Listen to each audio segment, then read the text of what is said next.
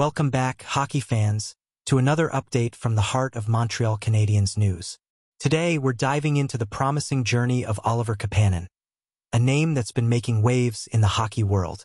Oliver Kapanen, the gem unearthed in the 2020 draft, has been showcasing his talents on the ice since his selection by the Canadiens. Stationed in Finland, he's been honing his skills in the esteemed Liiga League, proving himself as a formidable force in the game. Representing Finland twice at the World Juniors, Kapanen has left an indelible mark, dunning the captain's C in the 2023 tournament while tallying three points in five games. Adding to his accolades, he clinched a silver medal for his country. In the Liiga this season, Kapanen's performance has been nothing short of stellar.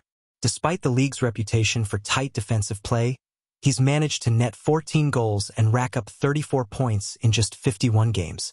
And let's not forget his playoff heroics, propelling KalPa to victory in the qualification round with an impressive seven points in five games. At just 20 years old, Kapanen's trajectory is awesome. But here's the kicker.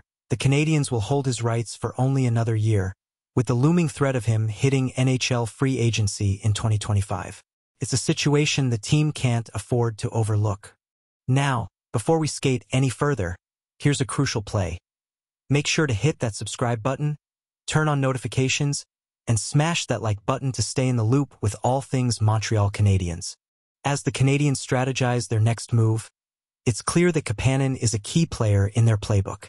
Standing tall at 6 feet 1 inch with a knack for both offense and defense, He's a diamond in the rough waiting to shine on North American ice.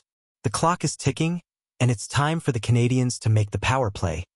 Bringing Kapanen stateside sooner rather than later is the name of the game. But hey, don't just take my word for it. Drop your thoughts in the comments below on Kapanen's journey and the Canadiens' next move. Until next time.